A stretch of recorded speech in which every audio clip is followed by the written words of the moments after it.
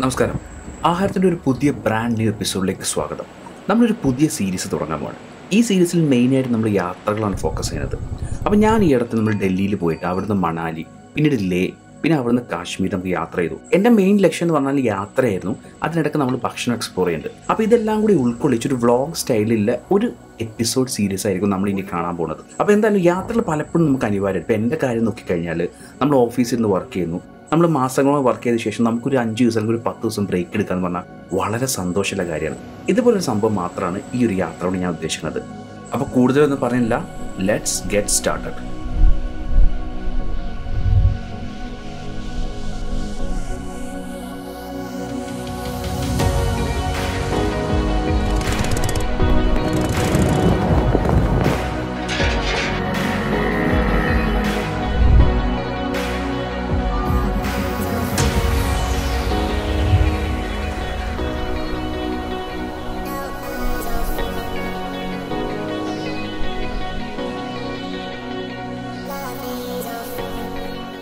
രണ്ടായിരത്തി ഇരുപത്തൊന്ന് ജൂലൈ മുപ്പത് സമയം ആറ് മുപ്പത്തഞ്ച് എ എം.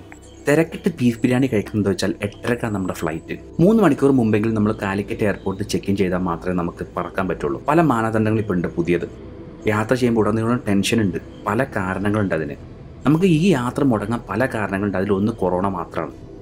നമ്മൾ രണ്ടായിരത്തി പത്തൊമ്പത് ഞാനും എന്റെ വൈഫും യാത്ര ചെയ്തതിന്റെ വീഡിയോസ് നമ്മൾ ഓൾറെഡി ചാനലിൽ അപ്ലോഡ് ചെയ്തിരുന്നു. അന്ന് അതൊരു ഫെയിലിയർ ആയിരുന്നു. അതേ യാത്ര അതേ പാറ്റേൺ എല്ലാം സെയിമാണ് എന്തായാലും നമ്മൾ ഇന്ന് ഇപ്പോൾ ഒരു പുതിയ സംഭവം എന്താ ചോദിച്ചു കഴിഞ്ഞാൽ നമുക്ക് ഈ ഒരു സംഭവം ഇടണം. അതെ പി പി കിറ്റ്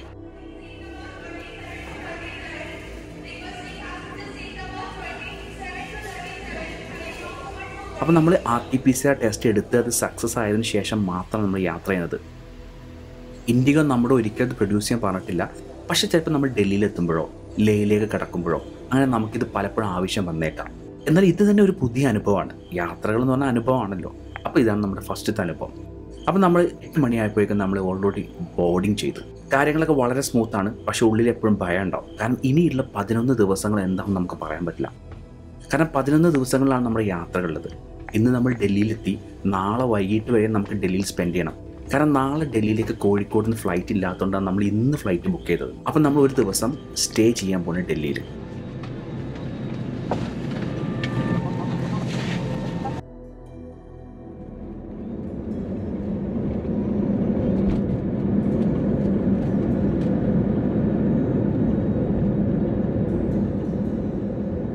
ഫ്ലൈറ്റുകളുടെ കാര്യത്തിൽ ഇൻഡിഗോ എന്നും വളരെയധികം കൃത്യനിഷ്ഠ പാലിക്കുന്നത് എനിക്ക് വളരെ സന്തോഷമുണ്ട്.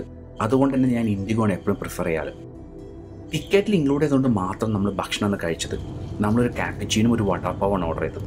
യൂഷ്വലി ബ്രെഡ് സാൻഡ്വിച്ചോ അല്ലെങ്കിൽ ബദാമോ അണ്ടിപ്പരിപ്പിക്കാൻ കിട്ടാറെങ്കിലും ഇത് വടാപ്പ ആദ്യമായിട്ടാണ്.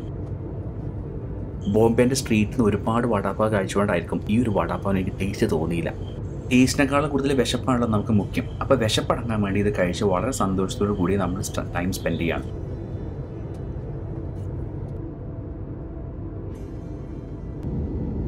ഏകദേശം ഉച്ചയ്ക്ക് പന്ത്രണ്ട് മണിയോട് കൂടിയാണ് ഡൽഹി ഇന്റർനാഷണൽ എയർപോർട്ടിൽ ടെർമിനൽ ത്രീയിൽ നമ്മൾ ലാൻഡ് ചെയ്തത്.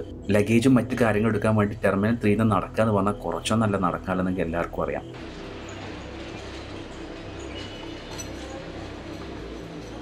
ഡൽഹി എയർപോർട്ടിൽ നമ്മളിനി ന്യൂഡൽഹി പോയിട്ട് നമ്മൾ നമ്മൾ ചെക്ക് ഇൻ ചെയ്യണം റൂമിൽ ബാക്കി കാര്യങ്ങൾ ഞാൻ എന്തായാലും പറയാം. ഞാൻ നേരത്തെ പറയാൻ മറന്നുപോയി. യൂഷ്വലി ഞാൻ മെട്രോ ഇവിടെ നിന്ന് എടുക്കാറ്. പക്ഷേ ഒരു പ്രശ്നം എന്താ വെച്ചാൽ എന്റെ കയ്യിലൊരു ചെറിയ മടക്കുന്ന കത്തി ഉണ്ടായതുകൊണ്ട് നമ്മളെ മെട്രോ അനുവദിച്ചില്ല. കുറച്ച് കുഴപ്പമുണ്ടായിരുന്നു. പിന്നെ ഫ്ലൈറ്റൊക്കെ ഇറങ്ങി നമ്മൾ നേരെ ഡൽഹി എയർപോർട്ട് ഡൽഹി എയർപോർട്ട് അറിയാലോ? നമ്മൾ ടെർമിനൽ ത്രീയിലായതുകൊണ്ട് കുറേ ദൂരം മറന്നിട്ട് വേണം നമ്മൾ പുറത്തിറങ്ങാൻ. നമ്മുടെ ബാഗേജ് സ്റ്റോപ്പിലെത്താം ബാഗേജ് എടുത്തു പുറത്തെത്തി. അങ്ങനെ നമ്മൾ മെട്രോക്ക് നടന്നു പോയത്. മെട്രോ എത്തിയപ്പോൾ മെട്രോയിൽ സെക്യൂരിറ്റി പറഞ്ഞു നമുക്ക് കയറ്റാൻ പറ്റില്ല. എന്ന് വെച്ചാൽ ചെറിയൊരു കത്തി ഉണ്ട്. ആ കത്തിയിൽ കയറ്റാൻ പറ്റില്ല കളയാൻ പറഞ്ഞു. അത് ഞാൻ മറ്റേ ഡിക്കാത്തോന്ന് രണ്ടായിരം രൂപ എടുത്ത് മേടിച്ച കത്തി അപ്പോൾ കളയാൻ പറ്റാത്തതുകൊണ്ട് ഞാൻ അവിടുന്ന് നേരെ ഊബർ ടാക്സി പിടിച്ചു. ന്യൂഡൽഹിയിൽ നമ്മളൊരു റൂം ഓൾറെഡി ബുക്ക് ചെയ്തിട്ടുണ്ട്. നമ്മൾ അവിടെ പോയി ബാക്കി ഞാൻ കാര്യങ്ങൾ പറയാം. ഡൽഹിയിൽ ചെക്ക് ഇൻ ചെയ്തു. പഹഡ്ഗഞ്ച് എന്ന് പറഞ്ഞ സ്ഥലത്താണ്. പഹഡ്ഗഞ്ച് എടുക്കാനുള്ള കാരണം എന്താ വെച്ചാൽ എനിക്ക് നാളെ ബസ് കയറാനുള്ളത് ശ്രീരാമകൃഷ്ണ ആശ്രം മാർ. അപ്പൊ അത് ഇവിടുന്ന് കുറച്ച് ദൂരമേ ഉള്ളൂ. പിന്നെ എനിക്ക് ഇന്ന് കവർ ചെയ്യേണ്ട സ്ഥലങ്ങൾ എന്ന് പറഞ്ഞാൽ സി പി ആണ്. അപ്പൊ അത് ഇവിടെയാണ്. എല്ലാം കൊണ്ട് പിന്നെ ഞാൻ മെട്രോ വഴിയാണ് വരിക എന്നുള്ള പ്രതീക്ഷിക്കുന്നത്. അപ്പം അവിടുന്ന് ഇറങ്ങി നടന്നു കഴിഞ്ഞാൽ new New Delhi railway station cross ചെയ്ത് നെക്സ്റ്റ് നടന്നു കഴിഞ്ഞാൽ പാടുകഴിച്ച് നമ്മൾ റൂമിലെത്തും അപ്പം നമ്മളിപ്പോൾ ഈ ഫുഡ് എക്സ്പ്ലോറേഷൻ ഇപ്പം നമുക്ക് രണ്ട് മൂന്ന് സ്ഥലങ്ങൾ കവർ ചെയ്യാനുണ്ട്. ശരിക്കും പറഞ്ഞാൽ ഡൽഹിയിൽ എത്തിക്കഴിഞ്ഞാൽ നമ്മൾ ഓവർ ഹൈപ്പായിട്ട് എല്ലാവരും ജമാ മസ്ജിദ് പോയിട്ട് ഫുഡ് കഴിക്കുക പക്ഷേ നമ്മൾ ശരിക്കും ഡൽഹി എത്തിക്കഴിഞ്ഞാൽ കഴിക്കേണ്ട സാധനങ്ങൾ മെയിനായിട്ട് ചോലെ കുൽച്ചെ ചോലെ വട്ടൂര് കടി ചാവൽ മട്ടർ പനീർ ഇങ്ങനത്തെ നാട്ടുകാർ കഴിക്കുന്ന സാധനങ്ങൾ കഴിക്കാൻ ഏറ്റവും ബെസ്റ്റ് പക്ഷേ നമ്മളിപ്പോൾ ഇന്ന് ട്രൈ ചെയ്യാൻ പോകുന്നത് ശരിക്കും പറഞ്ഞാൽ ബട്ടർ ചിക്കനും ദാൽ മഖ്നിയൊക്കെയാണ് ആ കാണടുത്തൊരു വലിയ ഫ്ലാഗ് ഉണ്ടായിരുന്നു. അത് കാണുന്നില്ല. ഇനി ഓഗസ്റ്റ് ഫിഫ്റ്റീൻ ആകുമ്പോൾ പുതിയത് വരുമായിരിക്കും അവിടെ. ഏതായാലും ഇതാണ് സി പി നയന്റീൻ തേർട്ടീസിലെങ്ങാനും ബ്രിട്ടീഷുകാർ പണിത ഒരു സ്ട്രക്ചറാണിത് അല്ലെങ്കിൽ ഒരു ഷോപ്പിംഗ് ഏരിയ അത്. ഇത് സ്ട്രക്ചർ വളരെ ഇൻട്രസ്റ്റിംഗ് ആണ്. സെൻട്രൽ ഗാർഡൻ ചുറ്റും ഒരു മൂന്ന് ലെയർ ഇതുപോലത്തെ വെള്ള കളർ ബിൽഡിംഗ് ആയിരിക്കും. പഴയ സ്ട്രക്ചറാണ് സ്ട്രീറ്റ് ഫുഡായാലും അല്ലെങ്കിൽ നല്ല നല്ല റെസ്റ്റോറന്റ്സുകളായാലും അല്ല ഷോപ്പിംഗ് ഏരിയയിലൊക്കെ അത് കൺസിഡർ ചെയ്യാൻ പറ്റും. സി പിന്റെ മറ്റൊരു പേര് എന്ന് പറഞ്ഞാൽ ശരിക്കും പറഞ്ഞാൽ രാജീവ് ചൗക്കാണ് ഇതിനടിയിൽ തന്നെ രാജീവ് ചൗക്ക് മെട്രോ സ്റ്റേഷൻ ഉണ്ട്. അപ്പം നമ്മൾ ഇന്ന് ഉച്ചയ്ക്ക് ഫുഡ് കഴിക്കാൻ പോകുന്നത് കാക്കെ ഡാ ഹോട്ടലാണ് ഡൽഹി സ്പെഷ്യൽ കറികൾ ഇവിടെ ഉണ്ട്. ബട്ടർ ചിക്കൻ ആയാലും ദാൽ മക്കിനി ആയാലും അല്ലെങ്കിൽ സാഗക്കായാലും നയന്റീൻ തേർട്ടി വണ്ണിൽ നിന്ന് സ്റ്റാർട്ട് ചെയ്തിട്ടുള്ള ഒരു റെസ്റ്റോറന്റ് ആണ് പക്ഷേ ഒറിജിനലി ഇവിടെ അല്ല തുടങ്ങിയത് വേറെ എവിടെയാണെന്നാണ് ഞാൻ മനസ്സിലാക്കിയത്. അപ്പോൾ നമ്മൾ തംസപ്പിൽ തുടങ്ങി പിന്നെ നമ്മൾ കുറച്ച് കാര്യങ്ങളൊക്കെ ഓർഡർ ചെയ്തിട്ടുണ്ട്.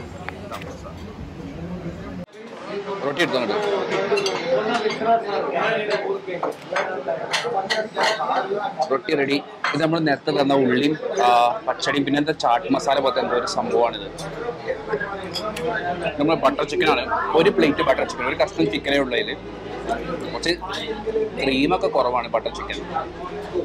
ഇത് ദാൽ ഇത് നമ്മുടെ സാഗ് മീറ്റ് ഇത് മട്ടണാണ് മട്ടൺ ഊ ഊ നല്ല ചൂടുണ്ട്.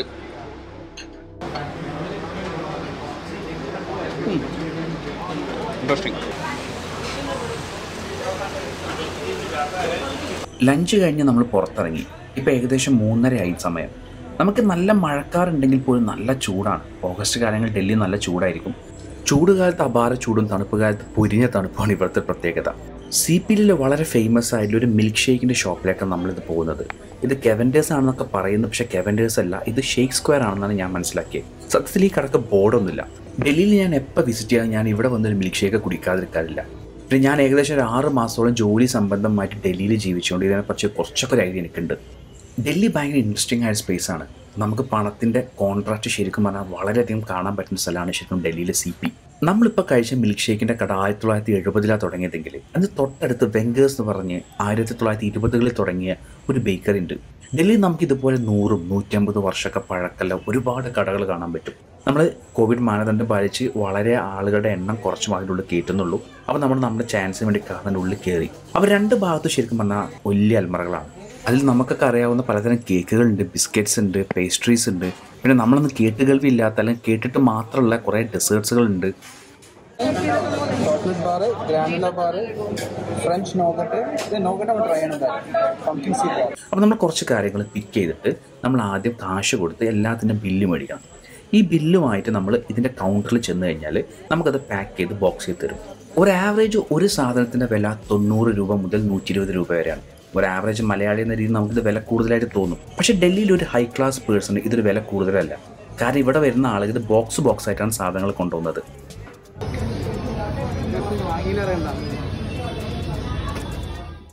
അപ്പം നമ്മൾ ഓർഡർ ചെയ്ത സാധനങ്ങളാണ് ഈ കാണുന്നത്. കീഷാണിത് ഇതിന് ഏകദേശം കൊടുത്തപ്പോൾ ഞാനൊരു തൊണ്ണൂറ് രൂപ കൊടുത്തിട്ടുണ്ടാവും. അതുപോലെ തന്നെ ഇത് ഷാമി കബാബാണ്. തൊണ്ണൂറ് രൂപ. നാട്ടിലെ കട്ട്ലറ്റിന് മുപ്പത് റുപ്യ ഉള്ളൂ എന്നിട്ട് കച്ചവടം ഇത് അതൊന്നും അല്ല പിന്നെ? എന്താ? കൊസാറ്റ അറൻഷ്യ നൂറ്റിപ്പത്ത് റുപ്യ. എങ്ങനെ എന്തുവാണ് അതിന്റെ റേറ്റ്? നൂറ്റിപ്പത്ത് തന്നെയല്ലേ? നൂറ് റുപ്യ അല്ലേ? ആ നൂറ് റുപ്യ ഉള്ളൂ അതിന്. അതുപോലെ ഇത് ഫ്രഞ്ച് നോക്കട്ടെ ഞാൻ അപ്പോൾ ഇതൊന്നും കഴിച്ചിട്ടില്ല. വെങ്കേഴ്സിൽ എന്താ പറയാ?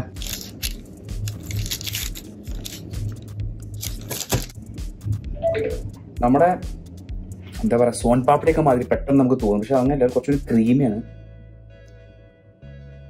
എന്തോ ഷുഗർ ഇപ്പം. ഓ എല്ലാ ജോയിന്റും വർക്കൗണ്ട് ഇത് മെനക്കണാണ് പക്ഷെ മതി ഇഷ്ടപ്പെടുന്നതുകൊണ്ട് ഇഷ്ടപ്പെടുന്ന തോന്നുന്നത് കണ്ടിട്ട്. മഷ്റൂം കീഷ് കീഷ് പ്രൊണൗൺസിയേഷനൊക്കെ ഭയങ്കര പ്രശ്നമാണ് വിചാരിച്ചിനേക്കാൾ സോഫ്റ്റാ ഹാലപ്പനോ ഒലീവ് മഷ്റൂം പുറത്ത് നല്ല ക്രിസ്പി ഒരു നല്ല ക്രിസ്പി അല്ല ഒരു ആവറേജ് ക്രിസ്പി തണുത്താവും ഞാൻ റൂമിൽ വന്ന് കുറച്ചു നേരമല്ലോ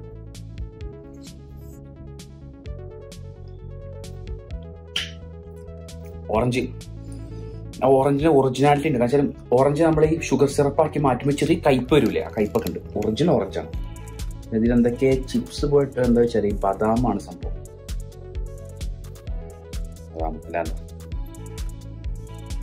എഗ് വൈറ്റ് ആണത് നിങ്ങൾക്ക് ഫ്രഷ് ക്രീം ഫ്രഷ് ക്രീമിന് അത് ടേസ്റ്റ് അല്ല. വെയിറ്റ് ഫോം ചെയ്ത ആവശ്യമുണ്ട് അടുത്ത ഷാമി കബാബ്. ചൂടുണ്ടായിരുന്നു നമ്മൾ വാങ്ങിയപ്പം. കണ്ട ഒരു വണ്ണല്ല കട്ട്ലറ്റ് എന്താണ് ഇതൊക്കെ അറിയില്ല. തൊണ്ണൂറ് രൂപ. നയന്റി റുപ്പീസ് അതിന്. കട്ട്ലറ്റ് ഒക്കെ ഉണ്ടാവില്ലേ? പൊരിഞ്ഞൊരിച്ച് വാസന. അതിന്റെ ടേസ്റ്റ് പക്ഷേ ടേസ്റ്റ് വൈസ് നോക്കുമ്പോൾ എനിക്കൊരു ജലോട്ടി കബാബിന്റെ അടുത്തേക്കൊക്കെ പോകുന്നത്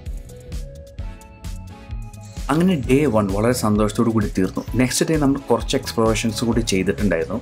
അതിനുശേഷം വൈകിട്ട് ഏകദേശം അഞ്ചരയോട് കൂടിയാണ് നമ്മൾ മണാലിയിലേക്ക് ബസ് കയറിയത്. അപ്പോൾ അതിന്റെ വിശേഷങ്ങളൊക്കെ ആയിട്ട് നമ്മൾ നെക്സ്റ്റ് വീക്കിൽ ഇതേ ദിവസം നമ്മൾ നെക്സ്റ്റ് എപ്പിസോഡ് കാണാമെന്ന് പറഞ്ഞുകൊണ്ട് ബൈ ഫ്രം ആ ഹരം